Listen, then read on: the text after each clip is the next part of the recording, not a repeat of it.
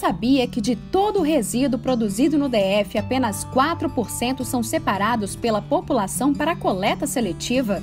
E que do que é separado, apenas 41% podem ser efetivamente reciclados? Só há uma maneira de mudarmos essa realidade. A coleta seletiva começa por você.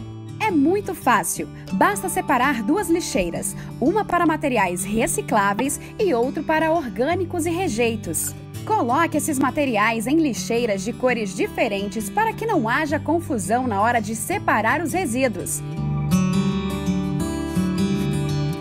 Os materiais orgânicos e não recicláveis são resto de comida, papel higiênico e papel gorduroso. Já os materiais recicláveis são papel, papelão, lata, isopor, plástico, embalagens de leite e suco e vidro. Mas atenção! No DF, o vidro não deve ser descartado junto com outros materiais. Faça o descarte em um ponto de coleta específico para que ele seja encaminhado para reciclagem. É importante retirar o excesso de alimentos e líquidos dessas embalagens para possibilitar a reciclagem.